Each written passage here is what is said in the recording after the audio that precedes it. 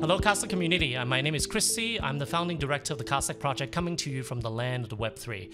Today, we're joined by Daniel Keller, the co founder and CSO of Flux, which has a very interesting spin about how we can turn cloud and blockchain and put it together in a way so that we can build the application that serves many users while getting the trust and minim- minimization of uh, trust that we would need to be able to build a decentralized future. Welcome, Daniel. Well, thank you so much for having me on, Chris. And I really look forward to talking uh, with you. We were talking a little bit there before we got live. I really like what you guys are doing, and, and really, and when you say coming from the land of Web three, now now that's a first for me. So we're in we're in the land of Web three, and I and I love it. I love it. I love what you guys are doing too. So I am. Uh, I'm Daniel Keller. I'm the Chief Strategy Officer and co-founder at both Flux and Zelcore. We are a decentralized computational network. And what that what does that mean? Well, we were Web three before Web three was cool. So we're about mm-hmm four and a half years old. Uh, we worked for the better part of three years building our decentralized network. And when I say decentralized, I mean it is completely decentralized. Uh, uh, we have a proof of work uh, algorithm that is our consensus mechanism um, and transactional validators. But we also had our node network, which r- allows you to deploy at scale on enterprise based infrastructure. Um, uh, any type of DAP that you can Dockerize, uh, you can deploy it directly on Flux. And we are also working toward Kubernetes Kubernetes and other other platforms as well that will be able to be deployed directly on Flux. So, in a nutshell, what I always tell people is we're kind of like the AWS of blockchain, and I know that mm-hmm. sounds cliche, but it's kind of what we're doing, and and you know it's a cl- it's the closest thing we can gravitate toward. It's really interesting, right? Because when people think about AWS and cloud, they think of that as an architecture that is in competition for Web3. But if you look at the actual node infrastructure that runs a lot of these proof of stake network and even some proof of work network, There's a lot of AWS servers behind those. Yeah, DeFi is not so DeFi, is it, Chris? I mean, and that's that's one of the things that uh, you know we saw very early on was you, it's very it's very difficult to be a well-developed project in the ecosystem talking about decentralization and not have your infrastructure ran on. If AWS goes down and your project goes down, you're not decentralized, and that is exactly what Flux kind of set out to do was we want to be the folks selling uh, pickaxes and shovels and pans to the gold rush. Uh, we're a pure infrastructure play, and in, in, in, that in that way, we let other people go out and do the fancy, bright and shiny things, the metaverse, the NFTs, the you know uh, DeFi's of the world, and we're, what we're going to do is we're going to power it all. So whether you're Web three, Web four, Web five, Web fifty, it doesn't matter. It's going to run on Flux, and that's that's kind of the cool thing that we like. So what's really interesting, you mentioned Dockerize. You know, Docker is a technology coming from the Linux world that came from Linux containers, which is basically say on the same physical bare metal machine, you can run uh, efficiently uh, yes. many, many copies of an isolated to some degree of efficiency and, and, mm-hmm. and isolation uh, so that people can deploy their software, their, their, their mm-hmm. runtime and whatever it might be in a shared environment, still providing the sense of you, you have your little uh, little thing. Uh, there are projects that talk about decentralized computing that has their own programming language, have their own uh, unique way of like deploying in different APIs. You've chosen to kind of piggyback on not even Web two, Web one, maybe Web zero, right? Uh, yeah. the the the kind of Unix, kind of that kind of philosophy. Can you tell us about those choices and and from a developer looking at deploying something uh, in a decentralized way, why choose to use something that uh, kind of ground itself in the Unix Linux movement versus learning a new programming language, a new deployment model like Canister with ICP and etc. Well, you know, the big thing about it, it, the way that I see it, is old technology is not necessarily old technology. We looked at the Linux distribution model and exactly how the, you know, some of the things we, we could do there as well. And we didn't want to lim- limit ourselves to one. We, we want to be agnostic to platforms. So whether you learned in JavaScript or Python or whatever, you've developed a, you know, a front end or a back end that's, that, that needs to be deployed, we could care less. As long as you can Dockerize it into a container, you can deploy it directly on Flux. And what that did was it allowed us to be more like Web 2 in the sense that we're more mm-hmm. inclusive to everyone building their platforms out. And, and also it does, it makes an easy transition for folks that are moving from Web 2 to Web 3 because we're not we're not maximalists. We don't believe that Web two just goes away tomorrow. It just disappears and AWS, you know, becomes Web three. Um, we believe there's going to be this hybrid symbi- symbiotic relationship between Web two and Web three, and this seemed to us the best way to kind of bridge that gap and and you'll hear us talking quite a bit about it uh, in, in, the sense that you know we we want to make sure that we have infrastructure that uh, that that developers can utilize so one of our our big things was our project jetpack where we really were working on dev toolkits to to make it seamless to, to deploy on Flux. So mm-hmm. the answer to your question is uh, we look at old technologies, we find exactly what works, and sometimes you parlay that into what you're doing now because it's relevant again. Mm-hmm. You know, when I looked at the type of application or dApps or even regular apps that can run in your thing, there seems to be a different category categories of things. There are yep. people running like nodes, blockchain nodes on your network, kind of substituting for subscription service from like QuickNode or Alchemy or whatever it might be. And there are people running uh, kind of dApps, and there's some people running what more like what more look like op- like last generation open source software, like yes. running your own mail servers. What do you think is the proportion of usage of this network that you have? And what are you seeing the trending towards? More dapps? More existing kind of migration from hosting in trusted infrastructure? Uh, or is it mostly around this whole idea of like running your own full node especially proof of stake have a lot of incentive for people to do that so I think it's a little bit of all of that, and and I'll, and I'll tell you why. As as as as we continue to keep developing out, we were blockchain by birth. So in other words, mm-hmm. you know, we came into the into the ecosystem with decentralization at our heart. A bunch of cypherpunks all got got together, and they decided they wanted a better internet. Uh, so we've naturally gravitated toward blockchain-based projects, and especially in DeFi, because again, it goes back to fix a problem. When you say you're a decentralized finance, you're you're in DeFi and you're running on AWS, you're not really a decentralized finance piece. So we've we found a lot of of of headwind of projects that we're looking to develop out and be more decentralized at their core. For instance, KDA, who is one of our our, our partner projects that we work with, um, is they had they wanted to make sure that they were completely decentralized across the board. So what they did is they launched a node incentivization program, and they allowed people to actually be incentivized for deploying decentralized infrastructure. So and we do that right on Flux today. So you can run a you know a KDA full node. You can also mm-hmm. run Chainweb data and other other components of of their platform. But with that, we're quickly expanding into different areas where um, uh, we're outside of the normal, I would say, blockchain tech, tech stack and moving mm. more into mm. the standard technical stack where we have people vetting us out uh, specifically, not necessarily to just uh, assume all of their technology overnight, but act as almost like a, a, a wetlands, so to speak. Mm-hmm. So uh, they deploy on Web Web 2. They have a, a, footprint on Web3. It's this load balanced piece that works between both ones, and they're, and, and, and they're really just kind of this hybrid ecosystem. That allows people that are in the Web2 infrastructure and they're uncomfortable. Uh, I was on a on a call with uh, literally board members who who uh, of a major Fortune 200 company, and we were mm-hmm. talking about Web3. And about halfway through the uh, conversation, one of the senior vice presidents stops me and he says, "So you're telling me that my data will be on all these decentralized servers ran by regular individuals all over the world. And I said, That's exactly what I'm telling you. Mm-hmm. He says, mm-hmm. That's terrifying. I said, Well, I've heard that before. And do you want to know where I heard that? 13 years ago when I started pitching cloud to the bare metal folks who were running their own mm-hmm. infrastructure and mm-hmm. controlling all those pieces. And yeah. he kind of out of the corner of his mouth, he said touche. So, you know, I, th- I think what we're trying to do is make sure that we're very inclusive to all these different tech stacks. And, and, and I think that you, you see everything from utilitarian, uh, so backends that are running servers to and game servers. We have uh, Minecraft uh, uh, Bedrock editions that's been deployed we're really making a push toward uh, blockchain gaming as well. So mm-hmm. those are big pieces.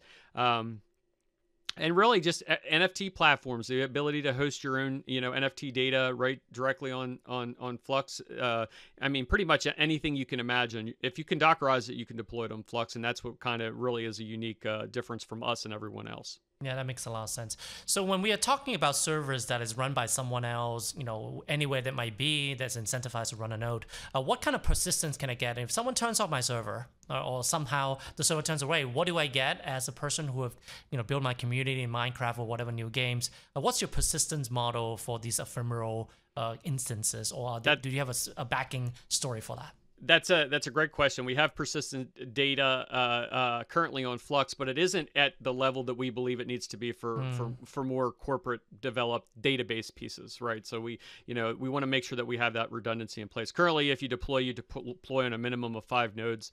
Um, mm-hmm. If one node goes down, we deploy another node in its place. I see. Um, our persistent storage, uh, which is getting ready, ready to be released, uh, kind of partners in with our with our Project Titan, which is our partnership with Lumen Technology. And if you're not familiar with Lumen, Lumen is I would say the better part of 50% of all web traffic uh, flows through uh, Lumen, and mm-hmm. so that's a that's a Web two company that understands the value of Web three and understands that it isn't just going to be a one and done. There'll be a Web two symbiotic relationship with Web three, and that's what we're developing around. So, mm-hmm. um, absolutely, 100% uh, persistent storage is is is it's essential to every project and we should have that in lockdown it's currently in beta test and and we'll roll that out here within the next um, you know several months yeah, I think that's the main difference between like running a node where you can say if I lose the drive or something like that, you can always resync. I mean, it takes a long time.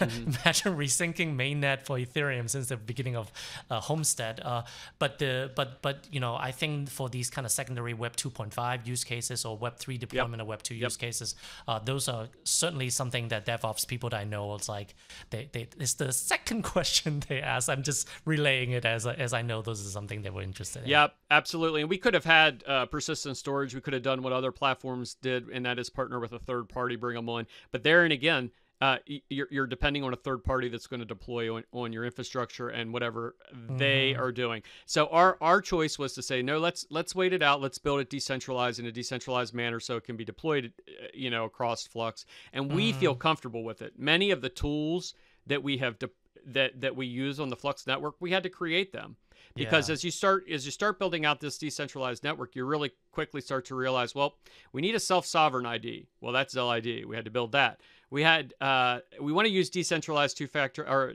we want to use two factor uh, authentication, but we don't want to use Google because that would go against exactly what we're trying to do. So we had to build decentralized two factor authentication. Mm-hmm. We need a platform, we need a portal, we need access so people can access Web three and almost like a web browser on the blockchain, and that's what Zelcore is, which is powered by Flux. So mm-hmm. all these things are are very unique in the sense that we're not we're not rushing to market to be the first. We're we're rushing to market to be the most decentralized and to provide the most most value for our customers as well, because our customers are going to be the the individuals not only in corporate America, but they're normal folks that are running just regular servers and infrastructures, small mom and pop shops that are just you know developing, and this is a way for them to do it affordably, decentralized, and very on demand scale. Mm-hmm. That makes a lot of sense. You mentioned Zelcore and the word Zel seems familiar. Uh, were you guys known as the Zel project or like the Zel token? When does the Flux and Zel kind of uh, um, uh, transition happen? So we were born into the world as Zelcash in 2018, and right in the middle of the clutches of a beginning of a bear market, and then of course built over the next three years. Um, in 2021, the beginning of 2021, we rebranded to Flux to unify mm-hmm. our brand, and it really became our own uh, our own project. So essentially, Zel was a just a standard fork of Zcash, and then what we did was we took that chain and made it our own. So mm-hmm. we, we we we developed out our deterministic nodes and our infrastructure on the back end there. We developed all the platform pieces that needed to snap in uh, to you know the utilities in the toolbox, so to speak, to to develop it out. Mm-hmm. So yeah, that's how we were born into into the world. And like I say, we were birthed uh, birthed by blockchain because we were all miners at heart, yeah, cypherpunks, yeah. the individuals who like we sat around and we said, what do we want to do with this project? Um, and every one of us, the same people that are on the project then are the same people that are on the project now, and their ethos is is commitment. So you know, one of the rules when you work for Flux is you don't work for any other project. So there's no other you know working with other crypto projects or standard projects. If you're on the Flux side of the ecosystem, a Flux side of the world, that's where you're at. So you don't have any conflict of interest. And and all the people that are working on our projects are really honestly cypherpunks at heart. They're folks that they believe in decentralization, they believe in developing the product, and uh, they believe in the mission. And of course, if if you have the mission at heart, uh, you know, financial windfall or you know is the byproduct of a successful mission. So that's kind of where that's kind of where they're at. Yeah, I think I, we, it resonates with us a lot. I mean, you know, all of our team that a, a good part of our team, you know, we were working together since 2014, uh, and you know, the mission is, you know, our mission is uh, like kind of you're like infrastructure and you're selling shuffles. We're selling kind of like the experience layer. Yes. So we believe that the composability of smart contracts and blockchains and assets translates to the UI. And yes. thinking about how to decompose and recompose in a secure and usable way, and that, yes. that's sometimes in direct contradiction, uh, like many other things like that in, in, in our field, is like it's finding the right way of of merging two contradictory idea to make something coherent. And the one thing we've learned is that uh, a lot of people who uh, come and go in the in the dApp field would like use the modern JavaScript or like whatever is hip, and then they abandon the project and the website is no longer accessible. Yep. Like, uh, and a lot of NFT projects I'm sure in the next two three years may not even be viewable, right? Yeah. Like you, you have Crickets, metadata, right? Yeah, I mean it's going to be rough.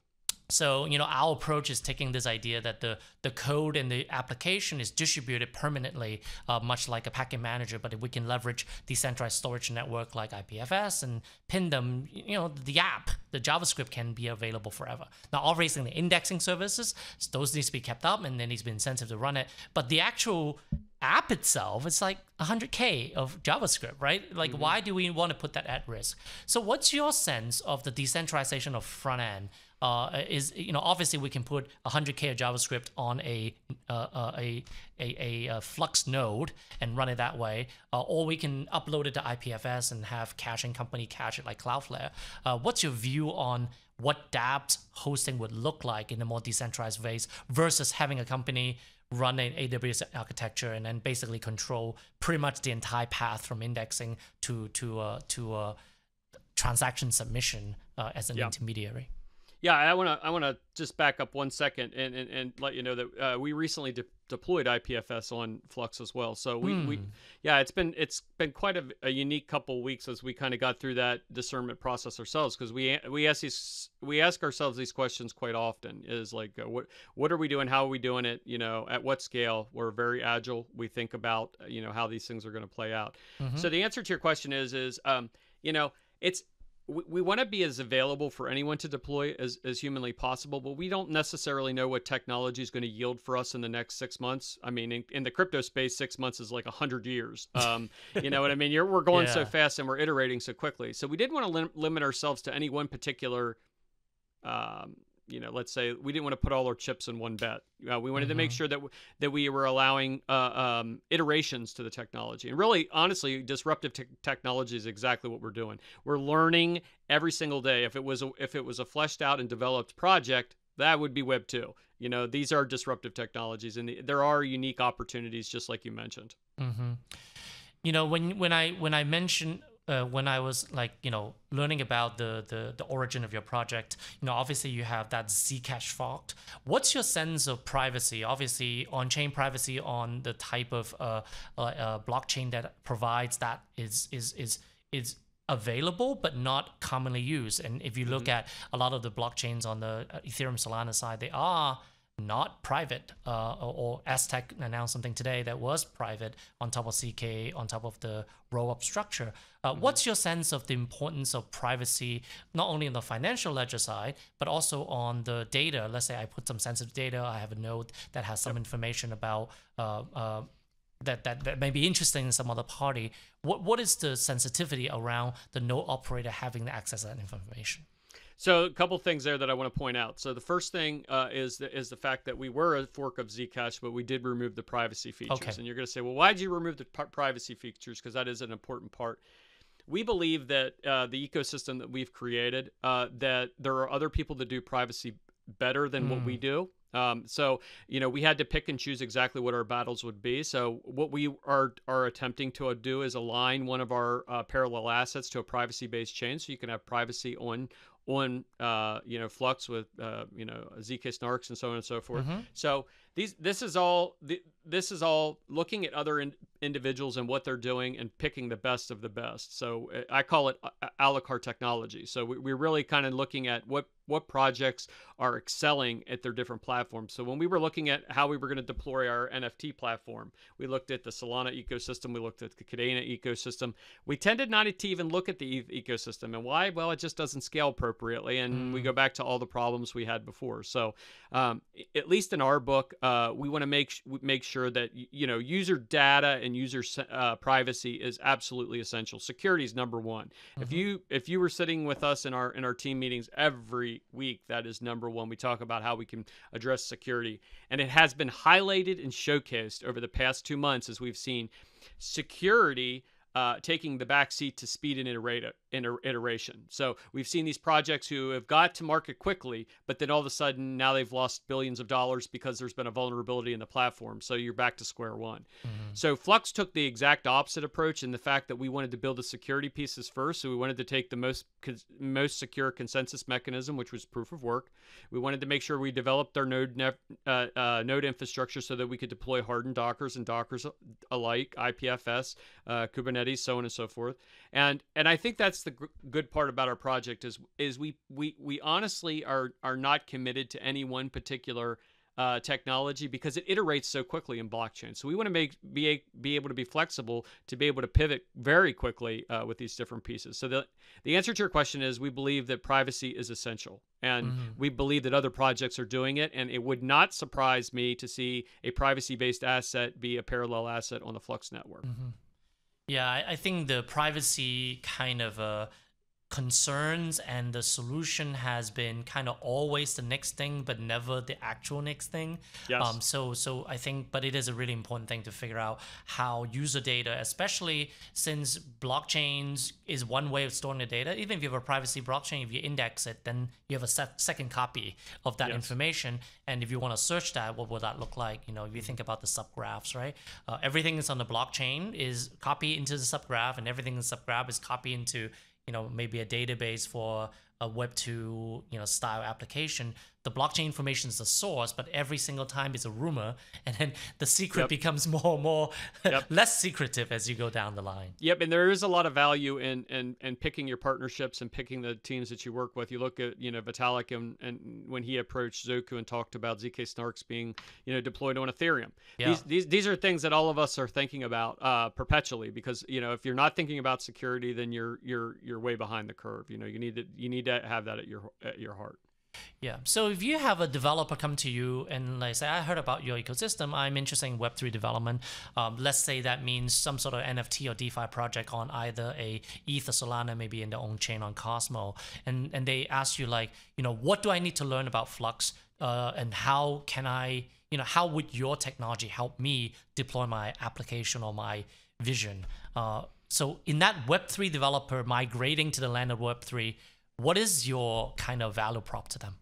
I would say the majority of the individuals who are developing on our ecosystem, including the team members that are part of the Flux team, uh, were not blockchain based developers. These were regular folks who had you know learned coding and they say how do we blockchain? And we said hey mm. we can we can help you out with that. We actually prefer green people that have not you know necessarily uh, been polluted with different you know um, uh, you know different programming languages and so on and so forth. We like to get them when they're when they're when they're new and and and, and help them develop the skill set. So i would say this um, uh, I think there's a ton, ton. If, if you're a current developer, the nice thing about Flux is it's been built for you. And uh, I suggest everybody, especially in, in, in, the development field today, to start looking at Web3, the true definition of Web3, because Web3 has kind of been used like as a catch-all to every single thing that exists yeah. right now. So whether it's DeFi or Metaverse or you know whatever, and and if you really get down to brass tacks, Web three is infrastructure. It's the underlying underpinning pieces that are going to take those those those uh, decentralized platforms and really make them truly decentralized and really perpetuate what Web three truly is. So I always tell them, you know, now's the time. Like there's this opportunity has will probably never exist in your lifetime ever again to be on a ground level on the foundation and building into something like this. And then what we do is we offer uh, different pieces to coming on. Uh, you can join Flux Labs, which is our incubation acceleration model, which uh, costs zero dollars. You just have to have a well-developed project to, for the ecosystem. You can uh, we have grants. We have in, in excess of uh, uh, almost two hundred thousand dollars hanging out there for grants for development on the ecosystem as well. So you can get paid while you're developing and learning learning a new trade. Uh, we also have uh, um, we also have junior developer programs. So basically, you can become a junior developer on it and learn from the best of the best. Because I, you know, I can truly tell you, I think uh, our GitHub speaks for itself. If you go check it out, our devs are insane. You know, they they work. I, I get up in the morning and it's like commit, commit, commit, commit, commit, commit, commit. I mean, and, and we're not talking real meat and potatoes commit. Not I changed something on the website commits. Mm-hmm. And I think that speaks for itself. And I think developers who are out there and they're they're on the fence about what should I take a look at Web three or should I not take a look, look at Web three, we're telling we're here to tell you you need to get into Web3 and you need to do it now. Even if it's your second job or your, or your side hustle, start to learn um, how, how to really develop. And we're more than willing to help anyone that wants to deploy on Flux to, to, to learn that process. Yeah, that makes a lot of sense you know, I, I, think I think a lot of Web3 developers, especially or people looking at Web3, start out as solo, right? They're, they're trying to kind of enter the journey themselves. Uh, there are supportive people on crypto Twitter or whatever might be on a conference circuit, but it is a fairly like you know kind of straight from the main path of you know tech jobs and and and cushy uh, uh, uh, uh you know vacation plans and stuff like that to really explore the kind of what this new decentralized world would be. You, you mentioned earlier in the world that like you know these kind of more enterprise grade technology like Kubernetes uh, become something that you can support, and obviously you you should be a sizable team uh, trying to deploy an application of certain complexity before Kubernetes is something that will help you versus yep. being a yep. quagmire that you would never dig, dig dig yourself out of in your weekend project. Uh, what's yep. your plan for uh, taking teams that's building real application, you know, whether it's customer or e-commerce application? Application can they expect to be able to bring their application as they have built it? Or is it really about uh, uh, kind of using the same tools but building a new type of application uh, on top of the same kubernetes infrastructure that that that's an excellent question, and, and that's one that we get quite often. And and the fact that you know what we what we've done is essentially kind of built an infrastructure that allows people to come in and deploy at, at their own wishes.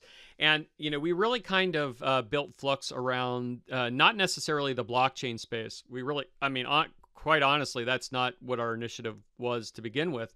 Is mm-hmm. what we built it on is the standard tech stack. So we wanted to be able to see companies like, let's say, Uber uh, let's say there's a, a competitor to Uber that wants to be a decentralized DAO. So if they're running on Flux and they're completely decentralized, or DAO's decentralized, and it's managed and ran by the individuals who are participating in in that network, governing that network, that's great. That's exactly what we want. We want autonomous organizations like that.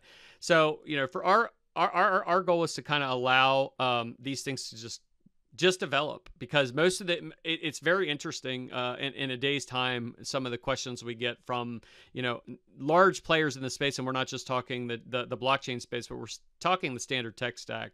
And mm-hmm. that's kind of why we partnered up with lumen you know i mentioned lumen again. Uh, these guys in web 2 are, are juggernauts.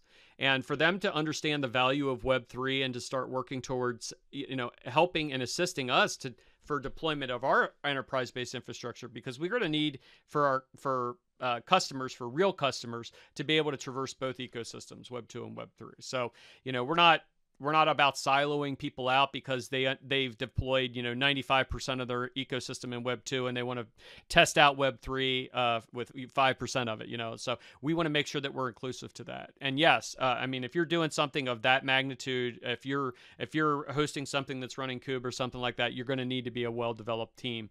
So i would say this uh, know your limitations. You know come come with friends. You know what i mean? Uh, if, if you go alone you, you know you'll go fast but if you go with friends you'll go far. So and i think that's exactly what you know flux was built for was we wanted to make sure that we uh, opened the opportunity up for both web 2 and web 3 and it's it's really interesting that some of the some of the uh, Web three purity, which is that oh everything's going to be a service that you use, and then JavaScript the API, it's actually taking away a lot of the power. For example, we early on we realized that the blockchain explorer only tells you the data uh, that uh, is available on the blockchain based on yep. account structure. But let's say you have three or four different accounts and you want to com- combine them, you need to run your own database because no yes. none of these places give you that kind of a indexing for you. So we call it the difference is like Google search versus Gmail search, right? Gmail search is you searching your own aggregation of all the things you receive, and it's kind of like searching your own memory. Whereas I think a lot of this uh, blockchain explorer, even the graph and subgraph is really searching the public information and then, and then you have to put in a query to find yourself, right? But if you want to have your own personal server, your personal data store, your personal indexing service, you're gonna need a server. Yep. you're not gonna need yep. a server acting as a node, and that's been the missing part, I think, for these things to uh, really make, make it feel like the decentralization is not just the scattering scattering of myself, but actually re-centralizing around that person where is my things in one place and that's i think where the decentralized compute node for the person is missing uh, yep. and and you know we have software in node that deal with that we call it the hub like your hub around you not around the project or the dApp or the protocol. Just you have a hub, and then it, it acts as a client to multiple things. You pull it together, make an index of it, and then you can traverse it, find it in your library and stuff like that. And that's really hard to do in a decentralized way. Um, yeah, so, well, it really and it really flips the paradigm because essentially what we what we have been dealing with for you know all of our past is is the the infrastructure was built directly around the individuals providing it. So you know yeah. they were monetizing it, they were uh, uh, you know harvesting it, using the aggregated data, uh, building their platforms around what you're supplying them. It flips the script and it basically puts it back in the hands of the individuals who are running the infrastructure, who are participating in the ecosystem, and they're the ones that are incentivized by their participation in said ecosystem. So I, I think it's really I think it really does this is a paradigm shift overall. I think when you really look at what Web two and Web three is, uh, it, it is a shift. Yeah. Do you, so. If I want to run my own little like personal slice of my hub, uh, that where I'm going to have a server, not just because I'm participating in Node. How much do I have to pay to keep like this hub that is maybe to continue indexing the things that's interesting to me uh, on your network? How much do I earn in terms of the reward I get uh, because I'm participating in this uh, network? So can you give me a sense of like what is it would be to a person who's like, hey, I want my slice, I want a node of my own. So we talked about we talk, well. I think you're dealing with two different things here. Mm-hmm. So the first one is the participation in the network. So running in an enterprise grade, grade infrastructure. So yep. you can do that today. Uh, you can you can find out exactly what the the profits are on those on our dashboard.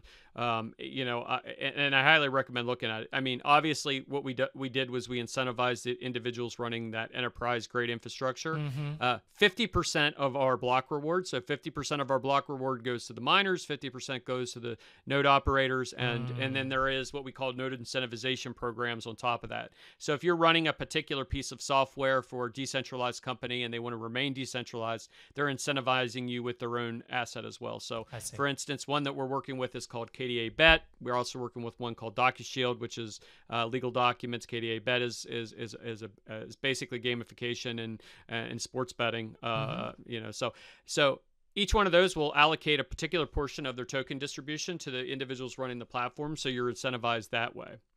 Uh, the other the other piece of that is uh, what we wanted to do is we really uh, we talked earlier about the Linux distribution model. We wanted to keep Flux absolutely bottom price. So right now, to deploy an app uh, in five instances, um, uh, you know, ac- ac- across these different geolocations, because we have geolocations as well, because that, that's an important piece, and I think we can touch on that then. Mm-hmm. Um, is it's it's it's basically minimal. I think it's I think it was 0.9 flux, which is about 46 cents or something like that today. I don't even know the price of it right now. Mm-hmm. But you know, our our philosophy was build it.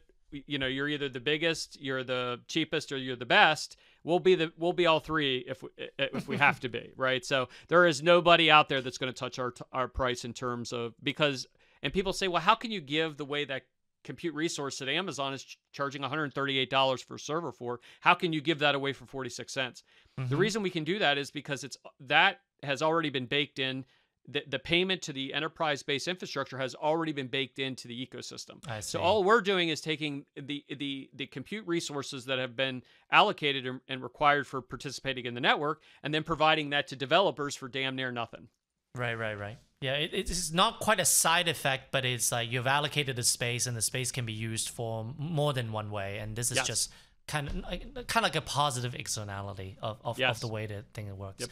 I mean, it's really interesting to look at the, the the the pricing. That if the if the economics is designed differently, it's not just about like uh, we are ten percent cheaper than AWS. Sometimes it, it's like well it's already paid for, so use it, kind of thing. Right? Yeah, it's. it's I mean, to, to, to, us, we just want to give it back to the community to develop the infrastructure, and that's the way it should be. You know, mm-hmm. uh, we all we could easily slap. You know, we could be forty percent cheaper than AWS or sixty percent ch- cheaper than AWS, but it doesn't matter to us. We want to be ninety-eight percent cheaper right. or ninety-nine percent cheaper because we, what we want to do is we want to get people that are. If you're deploying a website and you're a bootstrapped company infrastructure is killer. It's expensive. If, yeah. if you ever had to deploy infrastructure on AWS, it's like it's painful every month when you get your invoice.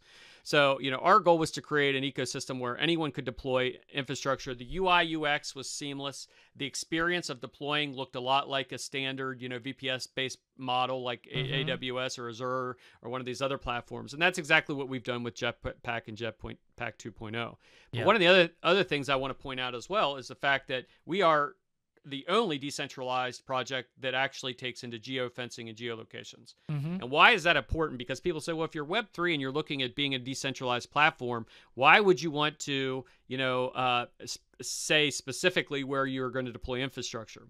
Well, let's say I want to be regulatory compliant and I want to be within a particular area. I Right. still want the trappings and all the the the bonuses that come with running decentralized infrastructure, but I also want to meet regulatory compliance because that's important to me and to my project. And by the way, the majority of the Web two ecosystems that will start mi- migrating to Flux, there that's a concern that they have. So Mhm. you know when we sat down with some of these big players in the space and we said, what are some of the biggest concerns that you have? Geolocations was almost number one, um, and mostly because they wanted to be able to be regulatory compliant, but still tap into the, the and harness the power of, of what we're doing with Flux. Yeah, and then I think a lot of people think of like geolocations, like I want my application to be to be uh, nothing nowhere, but in fact, it's actually better for it to be something somewhere. Yeah, At least, exactly. and whether it's your lawyer or your your your your your, your compliance officer working on them, it, you know, if you're in EU, you do get certain benefits if you're serving the EU customer to have an Yes. EU data server, uh, and that's something that I think people who are kind of maybe early in their career that hasn't that worked in enterprise, they think that's an advantage to be nowhere, nothing nowhere, but it quickly turns into a yeah, disadvantage. it does. It, it- and it, and it really, honestly, what it does is it sets us up to be to, to because we are able to give that regulatory compliance and that that that peace of mind to people that are developing on the ecosystem. What it's going to do is it's going to make an exponential growth model uh, Yeah. because because people are going to feel comfortable with that because it looks like something that they're already using in Web two. So Yeah. I think that I think that's important. So for us, for the you know, I, I always use this analogy. My wife goes to the bank, she puts her ATM card in, she puts her pin in, she takes her money, she drives off. She doesn't care at all about the infrastructure that got that money to her to make sure that it was taken from her account and all the all, all the behind the scene pieces. So we're the behind the, behind the scene people, and we're not going to be appreciated, but except for the individuals that are deploying that infrastructure at scale, and they're like, boy, this is nice to be able to have the, the affordability, the scalability, and and the decentralization that comes with Flux, but also be able to tap into my Web two roots as well. Um, I, I saw that you guys support uh, some dApps, and some, one of which that got really stuck out is that you there was a support for Matrix, which is like a chat server. It's like a decentralized Slack. Have you seen people use that uh, your infrastructure to host these kind of DAO communities around Matrix, or that's still early? It's still early, but we're starting to see uh, more of that develop out. And as a matter of fact, one of the very first apps that we deployed, because I'm an OG and I love IRC, we deployed our IR- IRC chat just so we could say that we could we could do it. What, Right, right. And then what we did is we ended up parlaying parlaying that into support models where we built bots that basically took our IRC chat running on Flux and then aggregated that data back to Discord where we were able to support people. And we were using IRC and decentralization, and they had no idea. It just looked like mm-hmm. a standard chat client. Yeah. So you know, I, I think you're going to see these communities really start to gravitate toward this once they they figure it out. I mean, we've seen a lot of deployments of game servers recently. As a matter of fact, they just deployed a Quake server, which I'm dying to get on and start to play uh, with with a bunch of the people from the group. So you know, th- these are you know, really that's what once they found the infrastructure, then that's when they start to develop those communities. So I, you know, I think you could definitely see that uh, continuing to build out. Yeah, it's very strange to see all of Web3 being kind of uh, bouncing between uh, a centralized Twitter, centralized Discord, and centralized Telegram, right? Like that Yep. that is basically kind of life of a person in crypto. I mean, you know, developer go on GitHub, centralized to Microsoft, right? So so I, it's really healthy to see uh, uh, uh, kind of a these kind of open source tools that has feature parity now, uh, kind of getting a, a better deployment model. I mean, you know, you, Matrix, the Element company, do offer a hosted SaaS service. I think that's good for for initial adoption and getting people to substitute. But I think you know the philosophy, especially with end-to-end encryption being so so baked in uh, into Matrix protocol, would be very interested to see uh, kind of data at rest encryption, even if the node operator is operating a matrix node, they can't read any messages because you have end-to-end. Well, that's encryption. the that's the ultimate goal, right? Is Yeah. to make sure that we have the end end end encryption. So, and, and here, uh, Chris, this is again where old technology becomes new again. Where you know one of our first apps that we deploy is our IRC, which has been around since forever, Yeah. right? So, you know, this this is the opportunity to kind of showcase those pieces. So, you know, I think it's I think it's super important that we build those communities, and we also obviously uh, put a, a great deal of emphasis around the, the you know the the peer to peer encryption piece as well. Yeah, you know, we've done a lot of research on you know kind of exchanging data. Like, you know, we have additional data than blockchain data in a full stack application uh, facilitated by Cardstack. And one idea that we have was a lot of the metadata, like a negotiation. Let's say you're doing a uh, procure to pay workflow, of which the payment may be a USDC transfer on Polygon or something like that, but the quote, the agreement, and everything else that goes back and forth, that shouldn't be written on chain. Maybe some of them can have some on chain representation for invoice factoring, but you can put a lot of the private document in a chat room, and then suddenly combination of a chat stream, encrypted chat stream that's settled with a blockchain payment underneath it becomes a direct replacement of billion dollar infrastructure in Web yeah, 2 and I Web know, 1. Yeah, I, I know, right? so, so you know, the other area that was kind of unique to us was the fact that you know you talk, hear a lot of talk about oracles and you know aggregate, aggregated price data. Well, these oracles are running on centralized infrastructure. So mm. you know, if mm. you're if you really truly want to get down to brass tacks, you need a decentralized oracle, which we built. So and it was on honestly, it was uh, you know we all got together and we were like thinking about what we could do, and we built an oracle which aggregated all exchange data, API data to a centralized point with with that was running on Flux, so it runs on Flux. But then we also took it a step further and we started to aggregate social metrics as well. So you could see the aggregated pricing metrics and the aggregated social metrics right in one place, and it yeah. all ran on Flux. And it's and we named it after my dog. What's so, your dog's name? Divi. so Divi Divi Fetch was our very first uh, was the very first decentralized pricing oracle out there, and you can see it uh, actually now today if you go check it out. Um, it, and, and, honestly, it was super simple. the The user interface was super simple. It really just took all of the uh, the assets that we stored in Zelcore and ag- aggregated all their exchange data from all their different platforms in real time, so that we mm-hmm. could ag- we could start to see uh, as we added in uh, the social aggregation piece from LunarCrush, which is a, basically a social aggregation uh, platform, we could see as the social aggregation started to move one way, the price would then reflect it. So then, basically, what we were using it as is an arbitrage tool to look for mm. opportunities. If we saw mm. so- social metrics starting to tick up over here, then we knew that we wanted to take a posi- position there. So I loved yeah. it. Um, and I think we're going to continue to keep working on building it out. But that that goes back to we have these tools that need to be created, and uh, a lot of them don't exist yet. Yeah, and I think this idea of doing computational oracle that's more computationally intensive than a weighted yes. average uh, by leveraging kind of more traditional compute resources and not just smart contract, which barely can do a weighted average efficiently over like 100 data points. Yes. Uh, if you if you unleash CPU resources, you can do a lot of sentiment analysis. If you put GPU yep. resources, that's I think one of the greatest kind of like sad moment I had is that I think we rolled out of like GPU proof of work a bit early before we have some other usage of all that yep. deployed GPU to do some real yep. analytics, and that's a that's a real shame. And it's a little bit of just like the the whole CUDA based like GPU analytics not really getting mature enough in a de- de- decentralized deployment model to take over for that install capacity. So when I s- see people unracking GPU, it's like, oh, such a wasted opportunity.